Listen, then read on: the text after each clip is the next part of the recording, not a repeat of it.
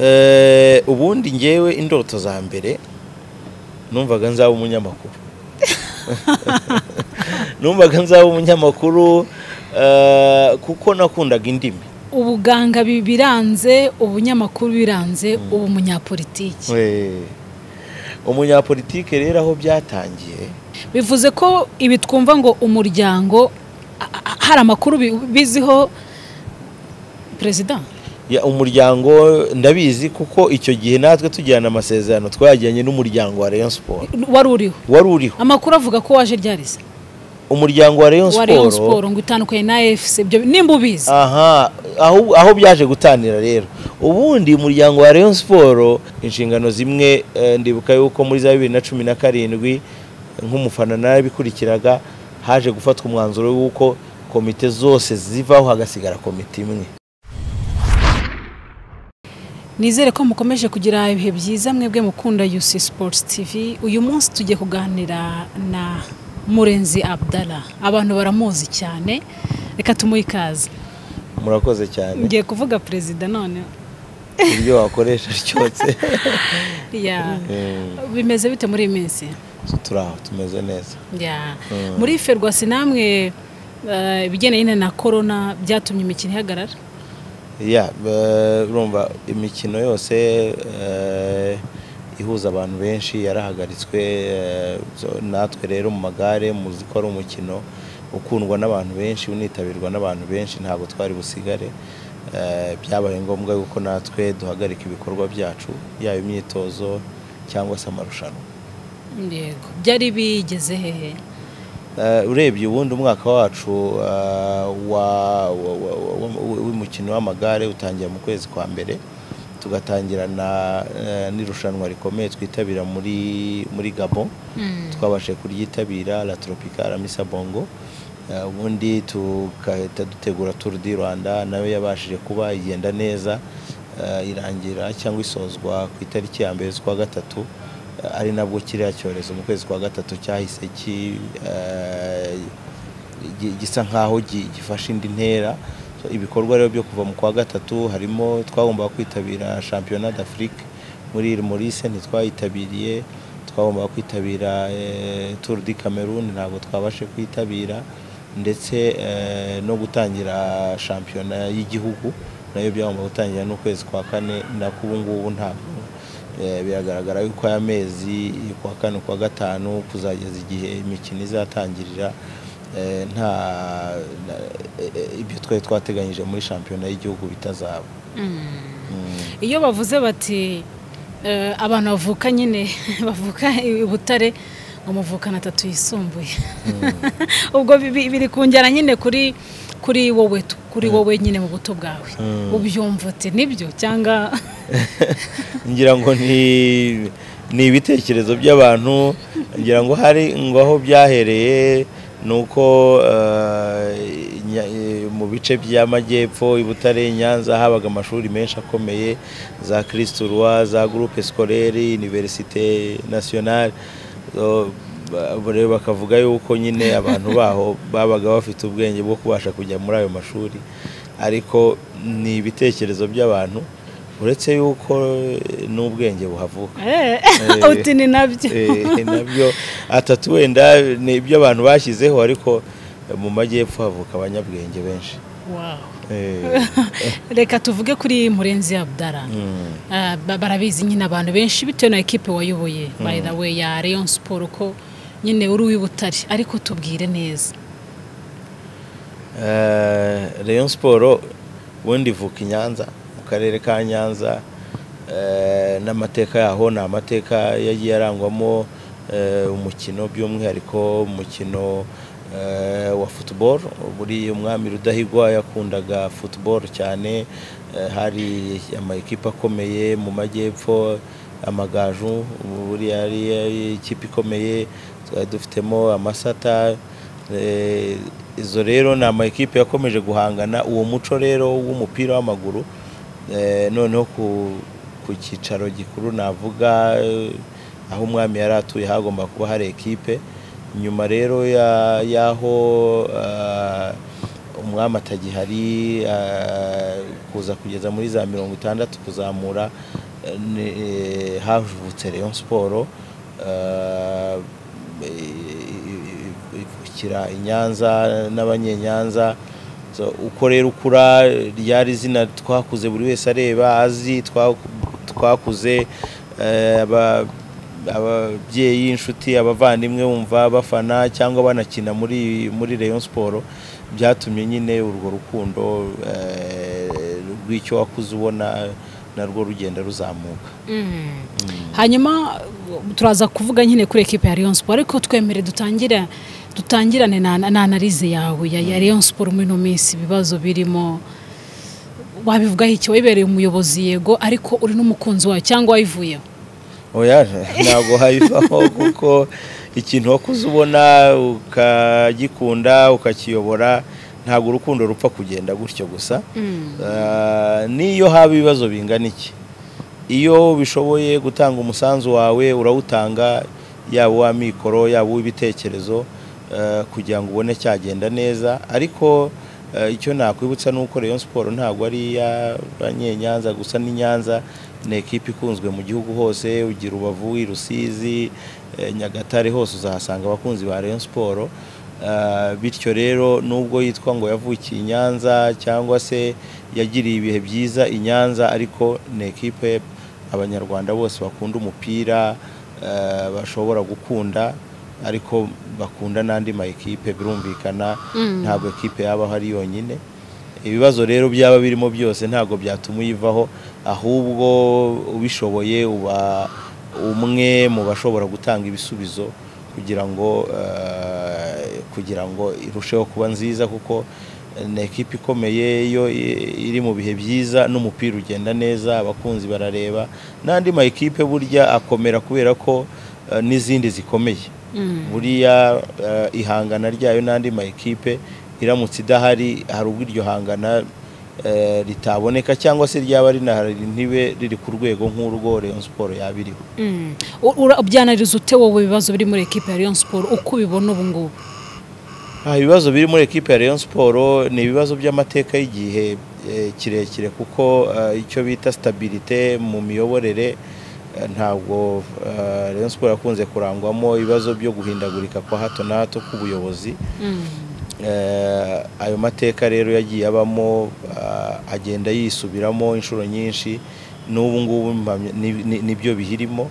Birimo yuko ah, hari abayobozi ba- ubuyobozi buriho ubu ngubu ah, bushaka gukemura ibibazo bushaka ku- kugira ibyo bushyira ku murongo ariko wenda ugasanga ah, umurongo babihaye hari abandi batabyumva gutyo ni amakimbirane yagiye abaho kenshi uko ushaka gukora ibintu niyo waba uri mu buyobozi hari abandi nabo bafite ibindi bitekerezo ikiba gikenewe ni uko abo bantu bose bicara hamwe bagahuza uwo murongo w'ibitekerezo bikavamo umurongo umwe w'umuyoboro uyobora Rayon Mm.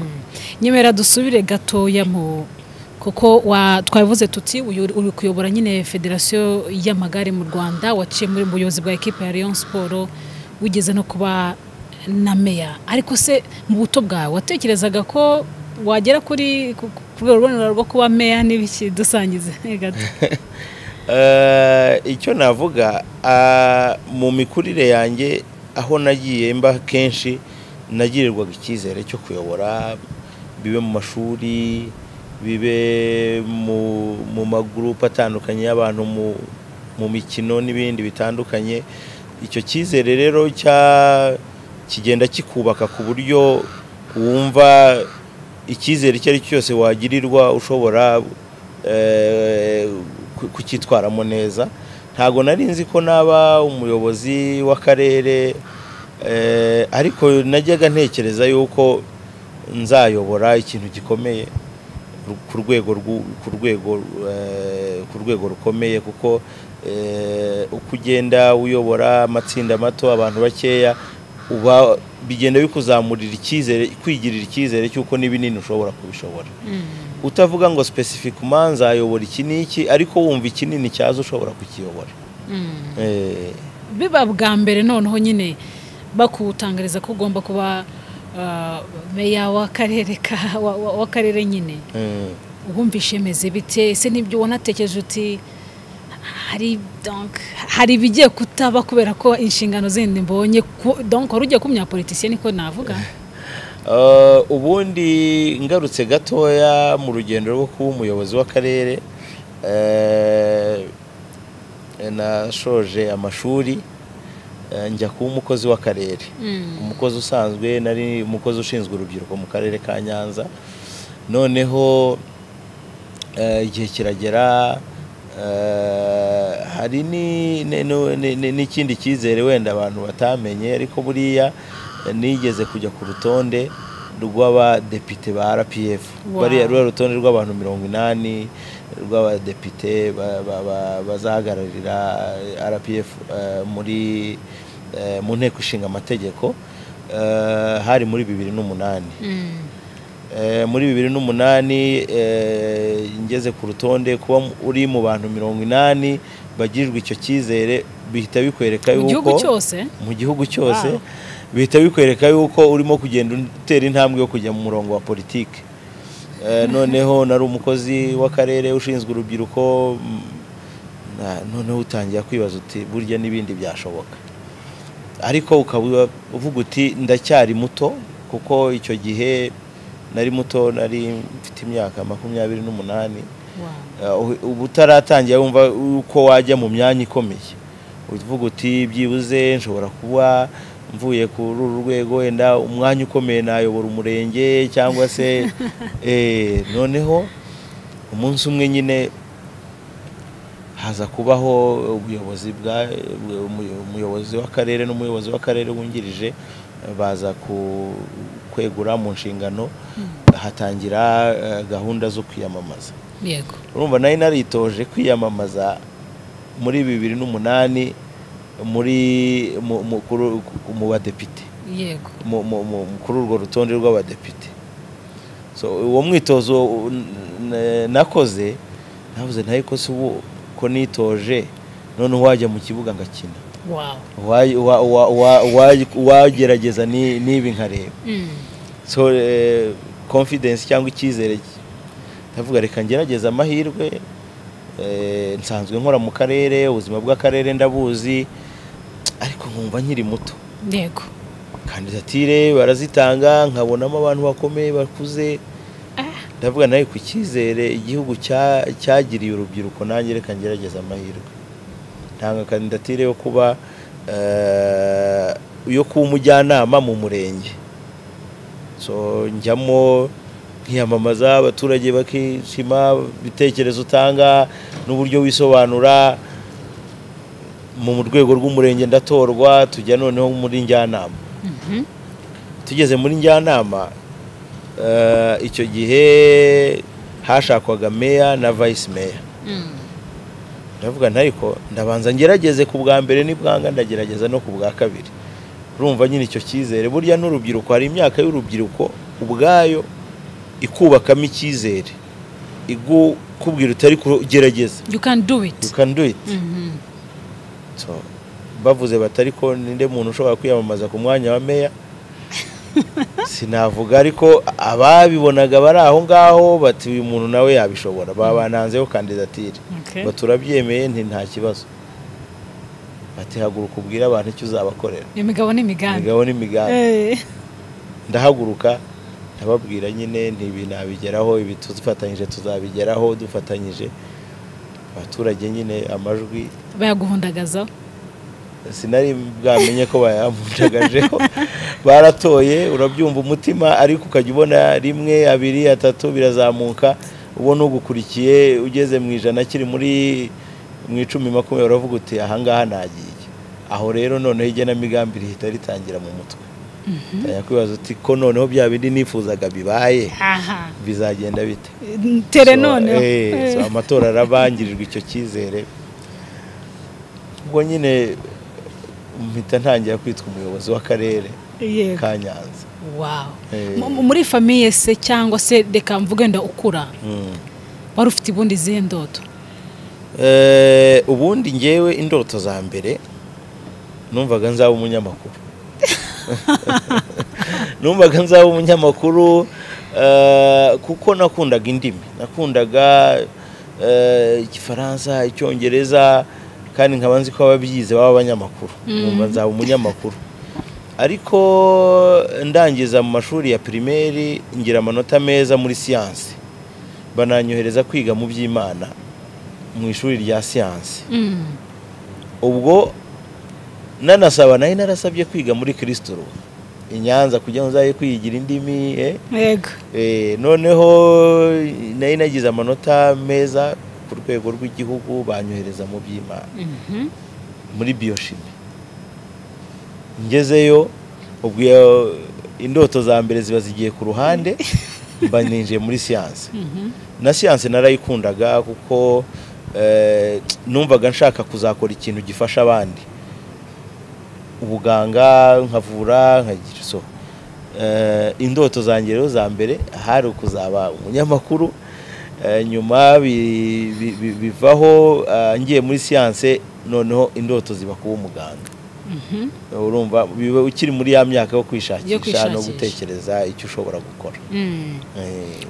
Ubuganga bi- biranze ubunyamakuru biranze ubu umunyapolitiki. We umunyapolitike rero aho byatangiye byatangiye eh, nko muri bibiri na gatatu bibiri na gatatu eh, mu matora ya bibiri na gatatu dutoranya kuba perezida wa repubulika eh, nari mu nzego z'urubyiruko i nyanza Mhm. noneho rero urumva utangira kwiyenteresa kuri politike ukamenya bigenda bite ko nyuma gato ntabwo nakomeje biyoshimi muri kaminuza? eh, naje kwiga ekonomi ukiri muri segonderi Se- ni muri segonderi ubundi twa- wajyagamo kera abantu batangiraga amasekisiyo eh, hasi. Batangira gutegura ariko ngeze mu wa kane eh, ubwo birumvikana ni nyuma ya jenoside. Yego. Eh, ntangira gutekereza noneho kuba umu ekonomisite kumva isaha igana eh, ni ubushobozi ni ugukira Mm. Eh, mu- ekonomisite noneho ntangira no kugira indoto zo kujya mu bikorera kugira indoto zo ku zo- kuba umu ekonomisite nyine umuntu wicunga umutungo ufite amafaranga Mm. noneho bigeze muri bibiri na gatatu eh, icyo gihe turi mu- mu- mu- muri kampeni zo kwamamaza umukuru w'igihugu nari no mu nzego z'urubyiruko urumva ibitekerezo noneho bitangira guhinduka utangira kumva za speech z'abayobozi utangira kumva imigabo n'imigambi. Eh, ariko icyo gihe eh, mpita njya no muri kaminuza. Yego. Ngiye muri kaminuza muri kaminuza niga ekonomi na edikasiyo so ekonomi na edikasiyo rero bitangira kumpa ku guhura n'abantu. Kuko edikasiyo burya ni abana abanyeshuri kwigisha kujya muri iyo mondi ituma uhura no ku- kumenya kuvuga kwigisha abantu kubabwiriza. So eh, ntangira noneho kumva yuko ntaba n'umunyapolitike. Mm. ariko sintakaze ka kantu ko kwikorera. Ko kwikorera ko gucuruza. Noneho turiga kaminuza irarangira. Twinjiye eh, ndimo gusoza kaminuza eh, nari mu nzego eh, za- rpf mu- karere. Ka nyanza. Nari Mm. umunyamabanga nabanje kuba umunyamabanga w'urwego rw'umurenge nzamuka ku rwego rw'akarere. Wakwita ko ari iya politiki ya buri munsi. ariko harimo nk'inzitizi wahuye na zo. Ntago zabura. Ntago zabura kubera ko iyo ukiri muto ukishakisha ikindi buriya abanyenyanza benshi ni abantu mu mutwe cyangwa mu bitekerezo no mu mibereho yabo ni abacuruzi abenshi Mm. Eh, kugira ngo uzahuriremo n'abanyapolitike cyangwa abantu bajye ntago ntago ari benshi. Niyo wahuraga n'umuntu ati se ati ibi bintu ugiye muzabishobora. Ariko nyine abandi bakagutera akanyabuga bati ariko you can do it. Wabishobora. so ingorane rero ntizibura. Abantu ndibuka yuko eh, eh, hari n'umuntu wigeze kuzangira inama. Arambwira ati ariko ati ngwino nguha akazi. Urabona ugiye gukora mu karere amafaranga ibihumbi ijana na mirongo irindwi niyo nakoreraga ntangira. Mhm. aya mafaranga urabona azagufasha ugatera imbere ukubaka ukabiki ariko muri bizinesi ushobora gukora diri imwe ukabona aya mafaranga y'ukwezi ukayabona umunsi umwe. Ubwo rero ariko akandi gatima akavuga ati ariko ngomba gusavinga igihugu. Kuko hari nu- n'umuyoboro uba waraciyemo ugenda ukubakamo patriotisme kurenza Mm. ku buryo ugezaho inyungu z'amafaranga n'ibintu ntuzibone cyane ukavuga uti ariko i must serve my country. Kubera ko amahugurwa nari naragiye mbona ubwo hagati aho nari naragiye mbona amahugurwa menshi. Mu itorero nkaba umutoza wa wa wa wa wa- bino icyo gihe hari hagitangira itorero. Ndi mu batangiranye n'itorero ndi umutoza. Eh. nkashingwa amasomo kuri sayiti runaka nkashingwa ibintu runaka urumva ugahujya mu- muri muri trainings zitandukanye za kadaship training zi- zigenda zikubakamo nyine. Ukunda igihugu indangagaciro z'igihugu. Mm. so ubwo rero hari ubwo umuntu yakubwira gutyo ukumva noneho ukuruwe cyane n'igihugu n'akazi k'igihugu kurenza eh, inyungu z'akanya gato abona muri bizinesi Mm. utubwiye bimwe mu byakugoye nyine uri mu bigendanye na turacyari ku bigendanye na politiki kuko twavuze ko nyine wayoboye akarere. Eh, hari nk'ukuntu bavuga bati hari nk'imyanzuro ikugora runaka kandi hari posite uriho. Wowe byari bimeze bite kiragiye birakomera noneho kuyobora aho uvuka. Ah exactly. Kuyobora aho uvuka navutse i nyanza ndahakurira. Abantu barakuzi wambara agakabutura ka kaki ugiye ku ishuri. Eh, gufata umwanzuro n'icyemezo ukagifatira umuntu wakuze ubona ari mu kigero cy'abantu bakuruta bakuru. Ubwo nyine byasabaga imbaraga imbaraga z'umutima no, kuba focused no kuba no kumva inshingano ziza mbere y'amarangamutima. E, ni umwitozo ukomeye kuko eh, aba- aba- aba- aba- aba- abaturage b'i Nyanza abanyenyanza eh, hari n'uwaza akavuga ati umwana wacu umwana wanjye. Icyo gihe bisaba kurenga amarangamutima. Ukareba ibi ukaba objective ku, kintu gikwiriye byantwaye igihe ariko system muri dukoreramo igenda ikubaka ku gufata ibyemezo hari amasomo amwe n'amwe umuntu aba yaragiye abona yo gufata ibyemezo bi- bi- bi- bi- bidashingiye ku marangamutima ahubwo bishingiye ku kuri kuko ibintu bikwiriye kugenda Mm. Eh, iyo rero ni imwe mu ngorane yagoraga noneho icyongeraho ahantu wakuriye umuntu agashaka yuko eh, ufata icyemezo runaka aciye ku muntu uri close yawe. Yego. Akaba yavuga ati ariko waca wenda nko ku mubyeyi ku We, muvandimwe we cyangwa se ku yandi masano. Ukabona umuntu araje akubwira ati rwose uriya muntu runaka afite ikibazo wagikemuye wamufashije. gusa amahirwe ahantu wakuriye ibyinshi uba ubizi Mm. ni avantage na desavantage. avantage ni uko abantu bose uba ubazi no kubona amakuru biroroha kuba umuntu yaburana isambu runaka ukaba ushobora kuba utabizi ariko ukaba uzi uwo wacaho ukamenya ukuri kw'ibyo bintu n'amateka yabyo Mm. So, ariko kimwe mu bintu byangoye mu kazi ni ukumenya gufata ibyemezo bidashingiye ku marangamutima reka tuvuge ku mubano Hmm. ku mubano w'urubyiruko rwawe na kiragiye uri mu miyoborere Hmm. wabyitwaragamo gute Ah, inshingano burya zituma umuntu akura imburagihe. Eh, hari ukuntu iyo bavuze bati uhawe inshingano zo kuba umuyobozi bagiye w'akarere kutwirengagiza. Ubwo urubyiruko wowe ubwawe wumva wakuze wahawe inshingano hari ikindi cyiciro uba uteye intambwe? Uba ugeze no mu cyiciro cyo kuganira n'abakuze mu myaka cyane yuko ari nabo wigiraho Mm. leadership. Ariko kimwe mu bintu byamfashije kubera gukunda siporo ntabwo nataye urubyiruko. Eh, no mu miyoborere yanjye mu karere eh, wasangaga ibyinshi tubifatanya n'urubyiruko. Eh, rukananyisangamo kuko twari twarakoranye ndi umukozi ushinzwe urubyiruko. Bivuze ngo eh, amakuru yose imishinga iyo ari yo yose wasangaga banyisangamo. Ariko nkagerageza kubibaransinga nanone no kwegera abakuru kugira ngo ugire icyo ubigiraho kugira ngo eh, bagire icyo bagufasha muri muri mu- mu- muri governance yawe.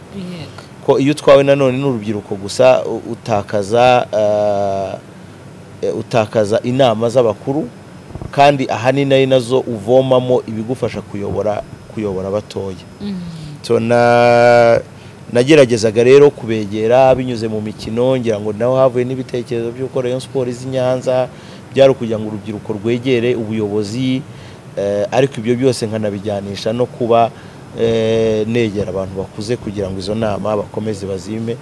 Urubyiruko rero iyo muhuriye muri siporo imyidagaduro nayaga norganiza ibintu bitandukanye izi gahunda wumva zitwa Nyanza twataramye gahunda ntangiza imikino itandukanye za tenisi amagare tuza kuvugana n'ubuyobozi bu- bu- bu- bu- bu- bu- bu- bwa federasiyo hakaba hari eh, za stages zisoreza i Nyanza. Mbese aba- abahanzi mu bitaramo bitandukanye ufatanyije n'ibigo bitandukanye kugira ngo urubyiruko rube ruri aho hafi. Cyane yo kuba ugifite n'ayo maraso y'urubyiruko nyine ariko nanone iby'abakuru bigahabwa abakuru iby'abato na byo bigahabwa abato. Mm. mu kanya gato uti kwinjira nyine mu mirimo ya politiki byari gusavinga igihugu. What are you proud of? Uvuga ati ibi ariko uranabimbwiye by the way. Uvuga ati narabisavinze. Ikintu cya mbere gishimisha ni ugukora akazi kawe inshingano zawe wagiriwemo icyizere ugasoza abantu batagukize. Yego. Hamwe bavuga bati yari yaratinze kugenda. Eh, nasavinze manda ya mbere ko na- na- nabaye meya imyaka irindwi irengaho hafi umunani. Savinga manda ya mbere irangiye abanyenyanza barongera bati twari tukigufitiye icyizere. Buriya niba hari ikintu cya mbere kinezeza cyanshimishije ni ni urwo rukundo ni icyo cyizere ni ni- ni- ni- ni- ni- aba- abaturage ba- ba- bambonagamo. Ariko ahanini ibyo byose binaturuka ku bikorwa bitandukanye uba waragiye ukora ntabwo umuntu akugirira icyizere kuko uvuka aha uvuka kwa runaka ni ukubera ibikorwa bitandukanye. Hari ibikorwa bi- byinshi twafatanyijemo n'abaturage b'i Nyanza twafatanyijemo n'abayobozi twari dufatanyije bigenda bigerwaho. So uh, I'm proud yuko nashoje manda yanjye eh, abaturage eh, tubanye neza eh, dukorana neza dufatanya muri byose ariko buriya no gusoza manda ubwayo ni, ni pride ikomeye ugasoza uteguye cyangwa se utagize impamvu zituma usoza igihe kitaragera. Reka tu- tujye muri kariyeri ya siporo kuko abakunzi benshi ba yusi sports tv bakunda ahubwo siporo cyane ariko byari ngombwa ko tuganira no muri urugendo rwawe muri rusange uko wazamutse n'ibindi bitandukanye. Muri ekipe ya Rayon Sport. Ubivuze mu kanya gato uti uri mu bantu batumye? Izi nyanza. Eh, Usibye ko wenda- igitekerezo aho cyaturutse Eh. nanjye naragishyigikiye eh, yuko yaza i Nyanza. Ndumva hari muri bibiri na cumi na kabiri noneho nari umukunzi wa Rayon Sport tukagira na ekipe ya Nyanza FC na yo yari mu cyiciro cya mbere. Noneho Nyanza FC yari yakinnye ari ku wa gatandatu Rayon Sport ikina na Mukura eh, i Huye. Njya kureba match. Eh, ngiye kureba match nza guhuriraho n'abayobozi ba Rayon Sport. Ariko ifite ibibazo byinshi. Yari ifite ibibazo byinshi. Yarabuze ibibuga yarabuze abakinnyi itoreza. bahembwa bamwe abandi badahembwa. Bari icyo gihe twakinnye harimo n'abakinnyi bamwe banze kuza gukina bazana abajiniyoro noneho turaganira. Tuganira n'abayobozi. Baravuga bati ahubwo umuyobozi umwe twaraganiriye. Arambwira ati ndagusabye mu gutaha. Ndumva iyo match mukura ya- yaranatsinze Rayon Sport waje tukagenda tukagenda tuganira. Tuza tuganira arambwira ati dufite ibibazo abcd byinshi. Ese nk'umuntu ukunda siporo icyo gihe wari ukiri umuyobozi? nari umuyobozi w'akarere bibiri na cumi na kabiri. Yego. Waduhaye urabona haburamo iki? Ntabwo ni ikintu kibura muri Rayon siporo ni uku ni amikoro nihaboneka amikoro ibi- ibintu byose bizagenda neza. Ariko amikoro na yo agira ubuyobozi bushyira mu bikorwa igenamigambi abantu baba bateguye. Turahaza tugeze i nyanza duhagarara gatoya turaganira. Aza kumbwira ati ariko icyo gihe twari dufite nyanza efuse na yo itameze neza. Iri mu myanya ya nyuma turwana no kutamanuka mu cyiciro cya kabiri. Ati kubona ah, nyanza na yo iriho itariho idatsinda cyane nk'uko abaturage babyifuza wazaretse tukorganiza umukino wa gicuti tukaza tugakinira ahangaha tukabona amafaranga ariko eh, tukanaganira uburyo twagira na partnership hagati ya Nyanza na Rayon Sport. Ndabwira ntayiko biragoye kuko twese turi mu makipe ari mu cyiciro cya mbere. Eh, kandi twese duharanira intsinzi. Mm. partnership akavuga ati mwajya muri abakinnyi urabona abanyamahanga baraduhenda bara- bara- baragumuka mukajya muri abakinnyi b'abanyarwanda mukabaduha eh, noneho tuka iyo partnership mm, tu- tuzabiganira. Mhm. so abantu baza kubiganira rero eh, bikomeza biganirwa haza kuvamo umwanzuro wo kuvuga ngo ariko izi ekipe zombi uzihuje Rayon Sport na Nyanza. Noneho Nyanza icyo abanyenyanza mushaka ni ukubona siporo Mm. noneho Rayon Sport tukayizana. I Nyanza ya siporo mukayibona no muri ekipe n'ubundi abanyenyanza bakunda. Naho igitekerezo cyavuye abantu bagenda babiganira n'inzego zitandukanye eh, Rayon Sport izi Nyanza bivuze ngo eh, impamvu mvuze gutyo ni uko eh, nari mu nzego zifata ibyemezo ku buryo igitekerezo iyo cyiza singishyigikire wenda gishobora kuba cyari bushyirwe mu bikorwa ariko iyo hari ugishyigikiye birihutisha cyangwa byoroshya urugendo abantu baba barimo. Ntitwavuga ko biri mu byagufashije kugira ngo utorerwe kuyobora ekipe ya Rayon Sport? Oya ubundi eh, mu masezerano twagiranye na Rayon Sport n'umuryango wa Rayon Sport nuko Rayon Sport iza i Nyanza ikaba kimwe mu bikorwa by'akarere. Icyo gihe umuyobozi w'akarere ni we ubireberera. Yego. Nk'uko areberera ubuhinzi ubworozi so eh, yahise biza mu karere ka Nyanza. Noneho ariko kubera ibibazo byari birimo twifuje yuko bijyamo ubuyobozi kugira ngo ibintu bya governance bishyirwe ku murongo. Mm. dutangire urugendo rwo kubaka ibintu bi- biri muri gahunda.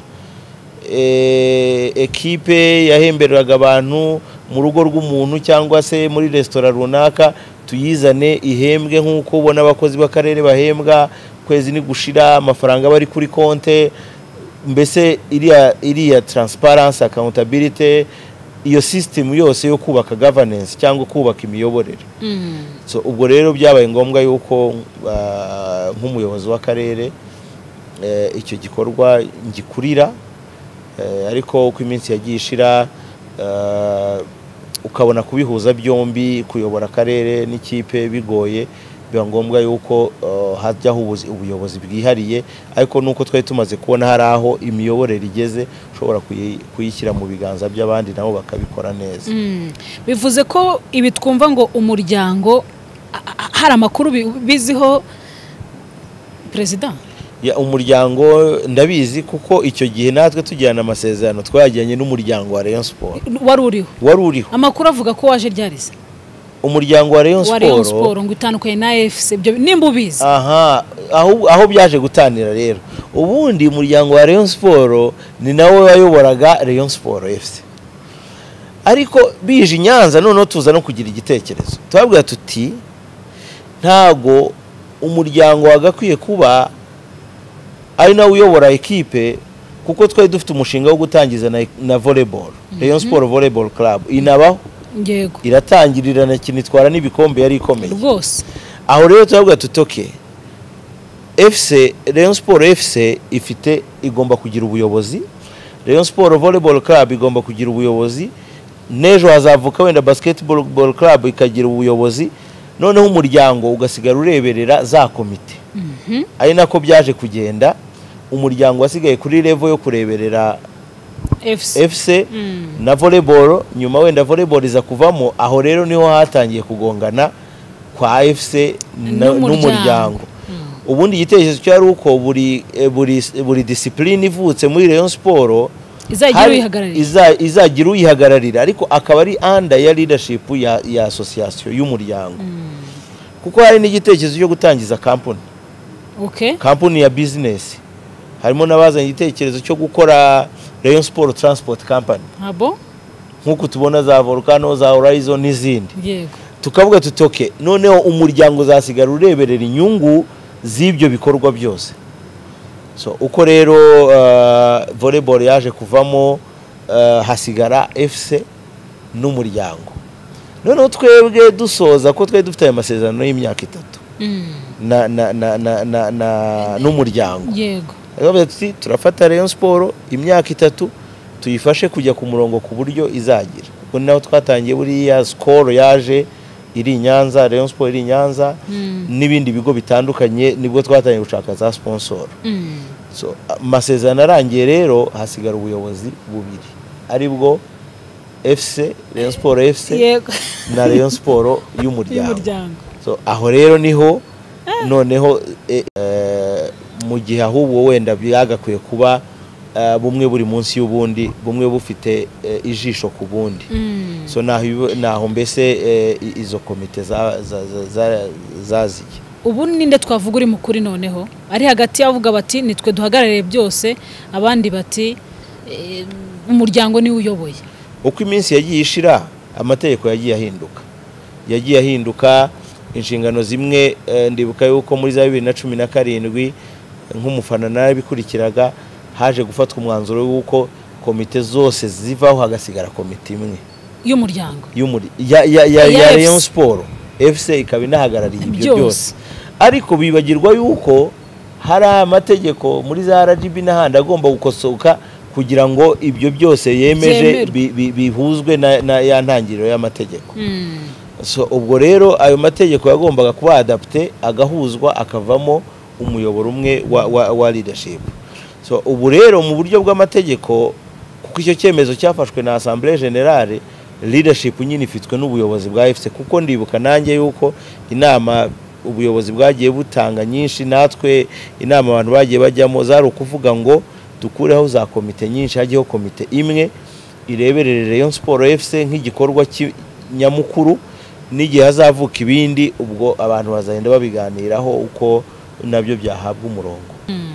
Hanyuma uh, ku- kugira nyine ukiyobora ekipe ya Rayon Sport abakunzi ba ekipe ya Rayon Sport baracyabyibuka icyo uvuga uti amateka azakomeza kuvuga yuko ibi nabikoze ubwo naboraga ekipe ya Rayon Sport? Eh, amateka zibuka yuko Rayon Sport twatwaye igikombe nyuma y'imyaka icyenda.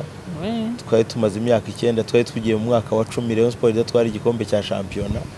Amateka azabizirikana yuko eh, icyo gihe iyo ntsinzi yabaye intsinzi aba- abareyo bishimiye. Ariko mpamya neza yuko ari na yo mm, na yo ntangiriro y'impinduka z'ibyagiye bikurikira.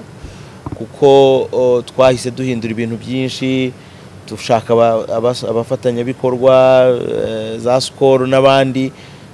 Iyo iyo kontinite ko umwaka wakurikiyeho ndumva twarabaye aba kabiri nyuma eh, umwaka ukurikiyeho ngira ngo ubuyobozi bwa bu- bumaze kujya noneho bino bya FC batwara shampiyona. Kuva icyo gihe kugeza uyu munsi Rayon Sport ntiramara imyaka ibiri idatwaye shampiyona. Yego. Mu mwaka umwe gitwarwa na APR ubundi kigatwarwa na Rayon Sport uko gusimburana. Mpamya neza yuko organisation twatangiranye icyo gihe yongeye kugarurira icyizere yuko tutazongera gutegereza imyaka icyenda. Ahubwo dushobora guhatana ku buryo umwaka umwe undi gutyo kuko nta wavuga yuko eh, nta usangira n'udakoramo uragitwara n'abandi nabo bazagitwara. Eh, eh, izo mpinduka rero numva ari umunezero ku bakunzi ba Rayon Sport ariko nanjye ku giti cyanjye yuko kuba Rayon Sport yaragiye i Nyanza hari bimwe mu byo yubatse bizatuma ikomeza kwitwara neza. Hari ibyo wumva wagiye uta- udakoze muri Rayon ya birimo. Birimo kubera ko eh, inzozi zanjye umwaka wa mbere uwa kabiri numvaga tuzagera kure mu matsinda ya- ya- ya- ya- ya- y'amarushanwa nyafurika eh, Mm. Eh, ndibuka yuko twakuwemo na ekipe yo muri congo braza Mm. idutunganyirije hano. Twagiye muri congo braza turangana turanganya zeru zeru Mm. turaza hano kuri stade hano turi tunganya bibiri bibiri. Match twari twatsinze ku munota wa nyuma nyine ni biri mu bimwe mu bihe bibi eh, nibuka eh, nagize. Ariko ni umupira nyine ni umupira. So uh, numva rero nagakwiye kuba narifuje yuko narashoje eh, wenda tugeze mu mapure ariko icyiza gishimishije ni uko nyuma yaho ubuyobozi bwakomerejeho bwatumye eh, noneho itangira kugera mu matsinda mu- marushanwa ya CAF mu matsinda. Ah, ikindi kintu nahoraga ndota ni uku- kongera gutwara igikombe cya sekafa twaherukaga n'ubu duheruka muri mirongo icyenda na karindwi n'umunani. Yes ndacyibuka Eh, so nahoraga ndota yuko ndibuka hari igikombe twagiye gukina eh, muri sudani y'amajyepfo. Hanyuma nk'ubu ngubu birashoboka yuko wakongera kuyobora ikipe ya Rayon Sport? Uh, ubu ngubu biragoye kuko uh, nagiye mu bundi buyobozi bw'ishyirahamwe ry'umukino w'amagare mu rwanda kuko eh, ntago byaba ari byo kuyobora federasiyo ukajya no kuyobora ekipe iri mu wundi mukino. Mm. Uh, hashobora kubamo conflicts cyangwa se ugasanga ntubikoze neza. Ni byiza yuko inshingano urimo zikora ahubwo uh, ukaba hafi y'abayobozi igihe bagukeneraho inama n'ibitekerezo ukabaha ibitekerezo Mm. hanyuma hari nk'ibintu byakuvuzweho mu buzima bwawe bikakwafekita bikafekita na na famiye cyangwa se umugore wawe ntago ntago biraba. Eh, kugeza kuri ubu ngubu nibaza ko eh, ni- ni- ni biri pozitifu ko eh, wenda imikorere akazi ariko nta biragera mu- mu- mu muryango ku buryo bya byahungabanya umuryango. Ibiri negatifu byafekise wowe gusa ni ibihe? Eh, ibiri negatifu ntibibura kuko eh, iyo uyobora eh, haba hari eh, n'abandi bantu bavuga bati eh, eh, tuvuge urugero uri umuyobozi w'akarere. Eh, kubera iki ushyira imbaraga kuri ekipa imwe gusa? Eh, uyobora eh, eh, Rayon Sport. Uramutse uhawe izindi nshingano zo kuyobora ikindi kintu ushobora kuba influence n'iyo ekipe yonyine. Eh, ntibibura rero ngira ngo n'igihe eh, abantu bajyaga batekereza yuko nshobora gutanga umusanzu mu kuyobora federasiyo ya football harimo bamwe wumvaga ku maradiyo bavuga bati ntiyabishobora kubera ko akunda Rayon ya yajya abogamira cyane kuri Rayon so uh, ibintu nk'ibyo bica intege ibintu nk'ibyo bi, bi, bi, bi, bi, bishingira ku marangamutima w'uko umuntu abyumva kumva yuko nawe ariko byagenda ntibibura ariko ibyo byose umuntu agerageza kubirenga aga- agakora igikwiriye agakora ikinyungu rusange kurenza ikinyungu z'urukundo ku giti cye afitiye ikintu runaka Mm. ni iki wigiye mu rugendo rwa politiki mu rugendo rwo kuyobora ikipe ya Rayon Sport mu rugendo ubu tuvugana yego uri muri ferwasi ni iki wi- wize? Ikintu nize mu- rugendo rwa politiki cya mbere ni ukuyobora abantu abantu kumenya yuko abantu bateye mu buryo butandukanye imyumvire itandukanye background zitandukanye icyerekezo gitandukanye kandi ugomba kubashyira mu cyerekezo ki- kimwe cyawe cyangwa se cy'urwego uyoboye. Ni, ikintu gikomeye cyane eh, human resource management cyangwa se eh, imicungire y'abantu. Eh, bafite iyo mitekerereze n'iyo mibereho n'ibyo byiciro bitandukanye. Ni urugendo rwamfashije. Ikindi nize ni ukudacika intege. Hari aho ugera urebye imbaraga washyize mu kintu wenda umusaruro ntube nk'uwo wari utegereje. Guhita rero wibyazamo imbaraga zivuga ngo ngomba gukomeza. Ni isomo rikomeye cyane numva narakuye mu rugendo rw'imiyoborere nanyuzemo eh, noneho ariko nko muri siporo fair play koroherana teamwork gukora gukora abantu bari hamwe gusangira ibitekerezo. Kumva yuko igitekerezo cya mugenzi wawe niyo cyaba kitakunyuze gishobora kuba ukuri mbese kwa koroherana kwa kumvikana kwa ku kwa guha agaciro iby'abandi mu miyoborere ntabwo ushobora kugera ku musaruro utabifite. So ni, ni bimwe rero mu bintu nagiye niga mpamya neza yuko no mu zindi nshingano izo ari zo zose yaba izindimo n'izindi najyamo bizamperekeza. Mm. reka tugushimire cyane bwana perezida wa ferwasi murakoze cyane nanjye mbashimire.